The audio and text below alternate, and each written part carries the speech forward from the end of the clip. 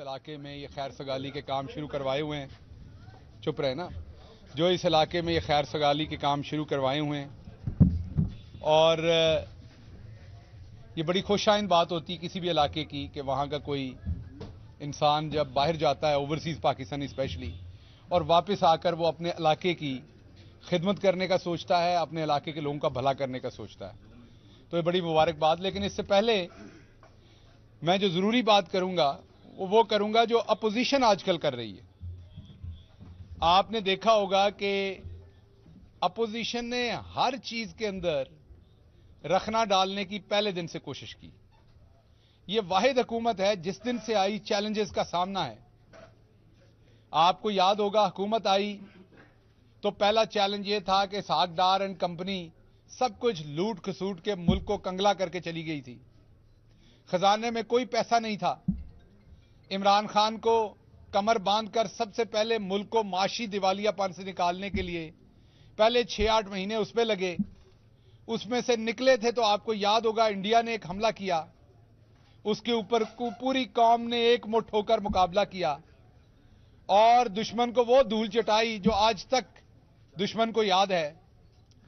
उससे अभी निकले थे तो टिड्डी दिल आ गया।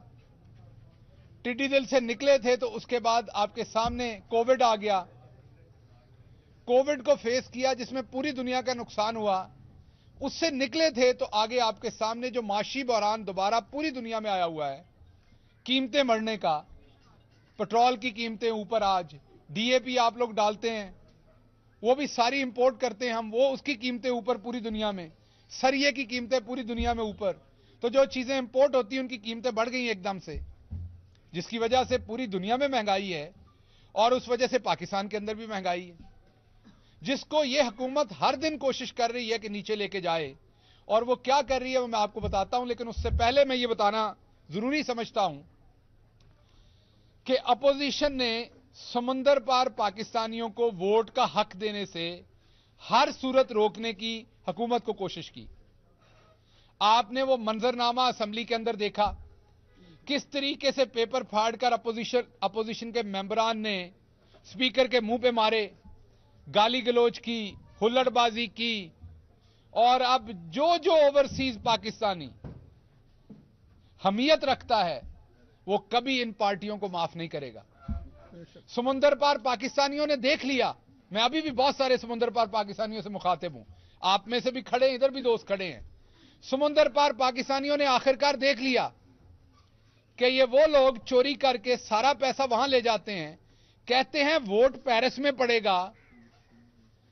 कहते हैं, वोट रांझा साहब न्यूयॉर्क में डालेंगे या वोट चीमा साहब कैंसस में डालेंगे, रिज़ल्ट मुल्तान से निकलेगा, गुजरावाला से निकलेगा।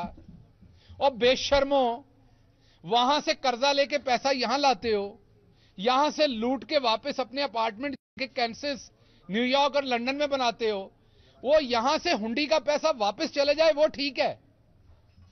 लेकिन अगर ओवरसीज पाकिस्तानी का वोट आ जाए, वो ठीक नहीं है।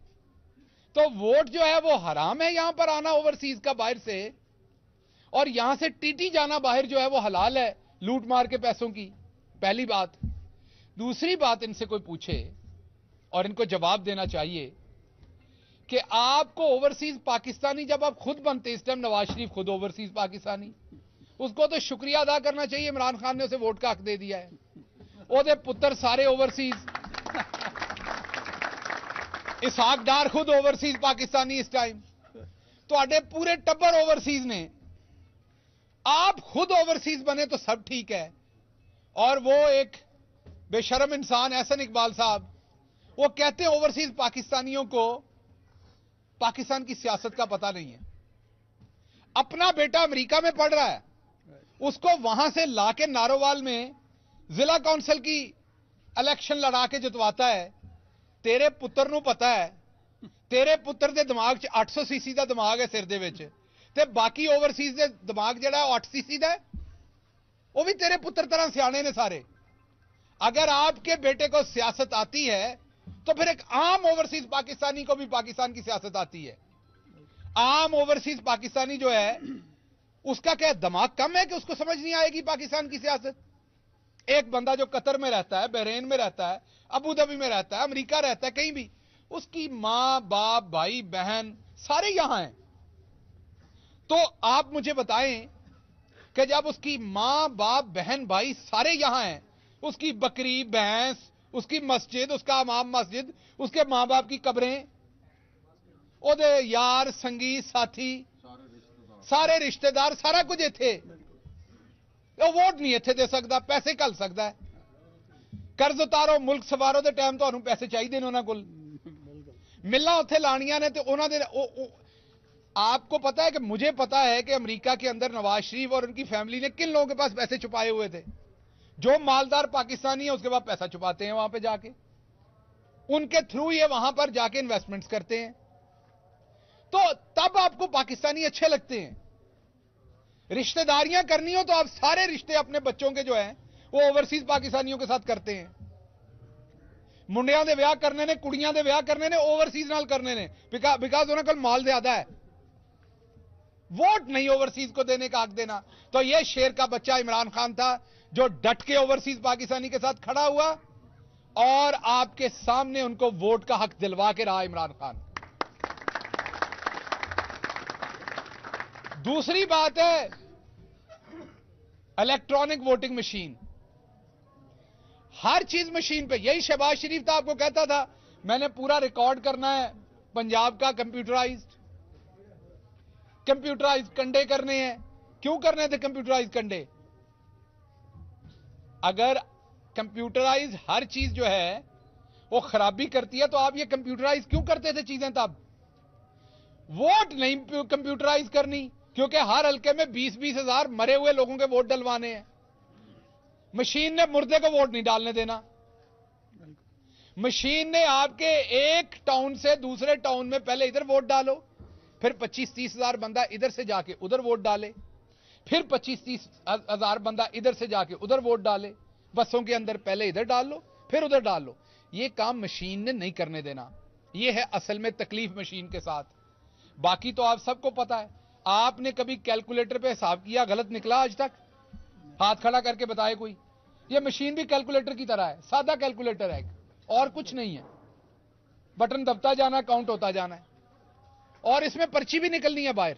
जैसे आप पहले पर्ची संदूकड़ी में डालते हैं ना, अभी भी आपने पर्ची डालनी है। तो पर्ची वाला काम उधर ही है, सिर्फ़ सात कंप्यूटर लगा रहे हैं। ते हुण इन्हों सब सुन गया वजह सिर्फ़ यह है कि जिन लोगों ने चोरी से इलेक्शन जीता हो सारी उम्र, उनको पता ही नहीं है कि चोरी के बगैर इलेक्शन जो है, वो किस तरीके से होता है। तो अब ओवरसीज पाकिस्तानी ने वो तमाम चेहरे देख लिए, और उन तमाम चेहरों को देखने के बाद वो भूलेंगे नहीं इंशाला जब इलेक्शन का टाइम होएगा। नंबर एक। नंबर दो, कल भी सेनेट से चार बहुत ही अहम बिल पास हुए। परसों कह रहे थे बलडोज कर दिया। भाई अगर बलडोज कर दिया कल आपके सेनेटर कहां सोए हुए थे आपने बड़े बड़े कानूनदान तारड़ साहब जैसे आजम नजीर तारड़ साहब जैसे कानूनदान भेजे हुए वहां पर वो किधर गायब थे उनसे पूछे तो सही तारड़ साहब किधर तशरीफ रखते थे कल आपके 20 सेनेटर गायब थे कल पहले अपने न्याणे गिन लो ਤੇ ਹਿਸਾਬ ਕਰ ਲਓ ਵੀ ਕਿੱਧਰ ਨੇ ਉਹ ਸਾਰੇ ਫੇਰ ਹਕੂਮਤ ਸੁੱਟ ਲੈਣਾ ਇਮਰਾਨ ਖਾਨ ਦੀ ਹਰ ਵਾਰੀ ਸੁੱਟਣ ਦੇ ਚੱਕਰ ਦੇ ਵਿੱਚ ਆਪ ਡਿੱਗ ਪੈਂਦੇ ਹੋ। ਉਹ ਸਾਡੇ ਤੁਹਾਨੂੰ ਪਤਾ ਨਾ, ਛੋਟੇ ਹੁੰਦੇ ਆ, ਬੱਚੇ ਕਈ ਮੂੰਹ 'ਚ ਅੰਗੂਠਾ ਲੈਂਦੇ ਨੇ। ਛੋਟੇ ਹੁੰਦੇ ਅੰਗੂਠਾ ਲੈ ਕੇ ਫਿਰਦੇ ਨੇ। ਉਹ ਮਾਵਾਂ ਕੀ ਕਰਦੀਆਂ ਨੇ, ਉਹਨਾਂ ਦਾ ਅੰਗੂਠਾ ਛਡਾਉਣ ਵਾਸਤੇ ਪਜਾਮੇ ਦੀ ਲਾਸਟਿਕ ਢਿੱਲੀ ਕਰਦੀਆਂ ਨੇ। ਉਹ ਸਾਰਾ ਵੇਲੇ ਬੱਚਾ ਲਾਸਟਿਕ ਹੀ ਫੜੀ ਰੱਖਦਾ, ਅੰਗੂਠਾ ਉੱਤੇ ਜਾਂਦਾ ਹੀ ਨਹੀਂ ਹੈ। ਇਹ ਇਮਰਾਨ ਖਾਨ ਨੇ ਇਹਨਾਂ ਦੀ ਲਾਸਟਿਕ ਢਿੱਲੀ ਕਰ ਦਿੱਤੀ ਹੈ। ਇਹ ਇਮਰਾਨ ਖਾਨ ਨੇ ਇਹਨਾਂ ਦੀ ਲਾਸਟਿਕ ਢਿੱਲੀ ਕਰ ਦਿੱਤੀ ਹੈ, ਲਾਸਟਿਕ ਫੜੀ ਫਿਰਦੇ ਨੇ ਸਾਰਾ ਟਾਈਮ ਤੁਸੀਂ ਕੀ ਹਕੂਮਤ ਸੁੱਟਣੀ ਹੈ ਤੁਸੀਂ ਆਵਾਮ ਦੀ ਨਜ਼ਰਾਂ 'ਚੋਂ ਵੀ ਗਿਰ ਚੁੱਕੇ ਹੋ एक रह गई सी कसर ओवरसीज पाकिस्तानी ओवरसीज पाकिस्तानी की वजह यह थी कि उन्हें लगता था कि सारा पाकिस्तान हमसे प्यार करता है उन्हें यह यकीन ही नहीं था कि ये लोग नफरत में इतने आगे चले जाएंगे अब आप उनकी नजर से भी गिर गए हैं तो आप किसान की नजर से पहले गिर गए थे जब से यह हुकूमत आई किसान के साथ खड़ी आज कोई मिल मालिक रोक के दिखाए तो पैसे हमारे किसान के सो कहने की बात यह है कि कल आपके 20 सेनेटर भागे हुए थे पता करें कहां थे क्यों कल चार कानून और पास हुए इसका जवाब दें और बाद में निकल के इल्जाम सारा हुकूमत पे दे देते हैं पहले अपनी मंजी थले डांग ते फेरो हुकूमत ਨੂੰ ਬਾਅਦ ਦੇ ਵਿੱਚ ਕੁਝ ਕਹਿਣਾ अपनी लास्टिक टाइट करो पहले और दूसरी बात मैं ये करना चाहता हूं कि कुछ सियासी मसखरे वो आए दिन मेरे वापस जाने की पेशीन गोइयां करते हैं कि जी गिल साहब अभी अमेरिका गए मैं रांझा साहब के साथ था वहां अमेरिका में वहां पे गिल साहब नया घर ढूंढ रहे हैं रहने के लिए घर मेरे को उत्थे पहले ही है पर गिल साहब हूं जाण वास्ते नहीं आए हूं ਤੁਹਾਡੀ मंजी ठोकण वास्ते आए हुए ने थे इमरान खान अपोजिशन में हो इमरान खान हुकूमत में हो मैं अब इंशाला इमरान खान के साथ खड़ा हूं और मैं वापस जाने के लिए नहीं आया अल्लाह के हुक्म से कप्तान चाहेगा तो इलेक्शन लड़ूंगा नहीं चाहेगा तो नहीं लड़ूँगा।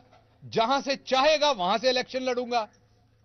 और बाकी मेरे भाई मेरे साथ खड़े हैं सारे इसमें। तो बात यह है कि आप ऐसी झूठी मेरा नाम लेके आपको मीडिया में आने का शौक है कुछ मस्करों को। तो उन्हें लगता है मेरा नाम लेके बात करेंगे तो चलें कोई शौक पूरा हो जाएगा। तो आप शौक ज़रूर पूरा करें लेकिन अपने मालकान को यह बताएँ कि जितने पैसे आप उनकी करप्शन करके कमाते थे ना आपका पूरा टब्बर उससे ज़्यादा पैसों की मेरी हक हलाल की, बहुत ही इज़्ज़त की नौकरी थी अमेरिका में, जो मैं खान के ऊपर कुर्बान करके यहाँ खड़ा हूँ। तो इसलिए मैं जाने के लिए नहीं आया। अगर कभी बुरा वक्त हुआ अपोजिशन आई, जेल जाना पड़ा, वो भी खान के लिए जाएँगे। जो करना पड़ा करेंगे। अब लीडर एक बंदे को मान लिया है, उसके पीछे खड़े हैं तो उसमें बुरा वक्त होगा, तब भी उसके साथ है, अच्छे वक्त में भी साथ है। आपकी तरह चूरी खाने वाले मजनू नहीं होंगे हम। और आखिरी बात मैं यहाँ से करूँ कि इंशाला बहुत जल्द इमरान खान एक नया प्रोग्राम जो एहसास राशन है वो लेके आ रहे हैं, जिसमें हर गरीब आदमी को 30 फ़ीसद तक आटा, दालें, घी इसके ऊपर रायत देंगे, ताकि जो आलमी महँगाई हुई है, उसके उस पर असरात थोड़े कम कर सकें। ए तुम पिंड च खलोते हो तो पता है कि बिल्कुल महँगाई तो तक भी पहुँचती है तुम भी उतो ही तेल खरीदते हो। लेकिन शहरों में उसका लोगों पर इफ़ेक्ट ज़्यादा हुआ है, क्योंकि गाँव में लोगों की कुत खरीद भी बढ़ी है, फ़सल का पैसा भी बढ़ा है। शहर वालों के लिए ज़्यादा मुश्किल है, उनके लिए प्रोग्राम लेके आ रहे हैं, और आप सबके लिए हेल्थ कार्ड लेके आ रहे हैं। इधर खड़े हर शख्स के पास हेल्थ कार्ड होगा, और आप प्राइवेट अस्पताल से 10 लाख रुपए तक सालाना अपना इलाज करवा सकेगा, हर शख्स जाके। तो इमरान खान इन चोरों से जो भी पैसा लूटा हुआ वापस लिया है वो आपके ऊपर लगा रहा है।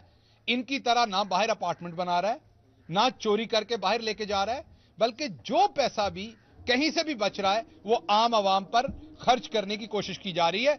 आप सबका बहुत शुक्रिया। आ, आपकी तशरीफ़ आवरी का शुक्रिया। और अभी मेरा ख्याल वो प्लांट का इफ्ताह करना है हमने जो वाटर प्लांट है उसका तो आप सबका बहुत शुक्रिया। इंशाल्लाह आपसे रहा रहेगा। जी जी।